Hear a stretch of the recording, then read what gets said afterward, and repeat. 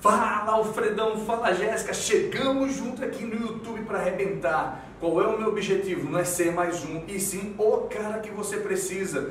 Preste atenção, qual é o meu objetivo? Aulas curtas de no máximo 5 minutos para tirar a dúvida específica que você tem.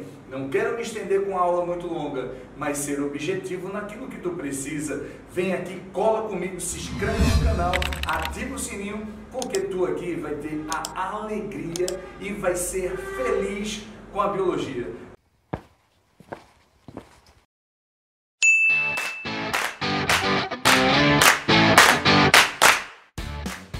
Hoje trabalharemos o ciclo do nitrogênio.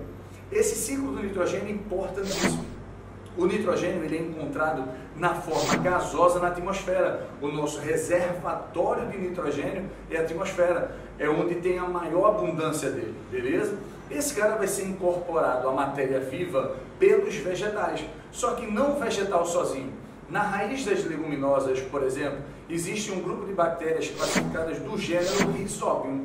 E existe entre a raiz e a bactéria uma relação simbiótica, um mutualismo ali. Os vegetais fornecem nutrientes para essas bactérias e as bactérias fixam o nitrogênio para esse vegetal.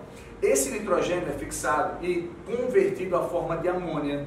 Em seguida, a amônia é convertida a nitrito e em seguida a nitrato.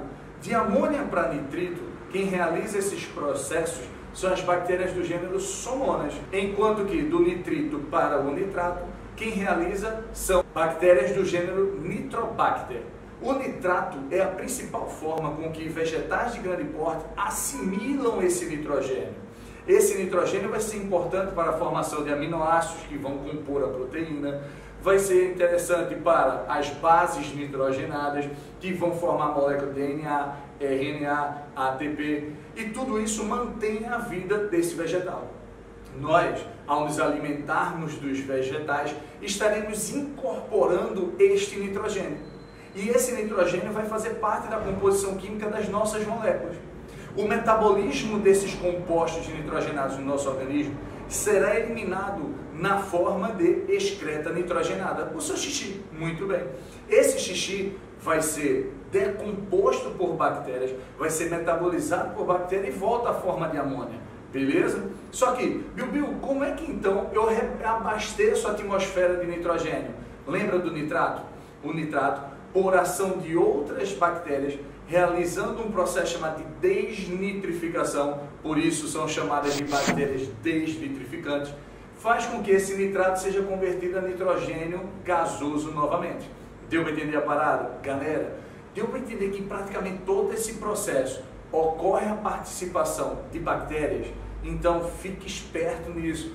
Falou de ciclo do nitrogênio, a ideia é ação de bactéria e principalmente aquelas que realizam um processo chamado de Fixação. Não esquece, eu quero que você lembre justamente isso. Fale comigo.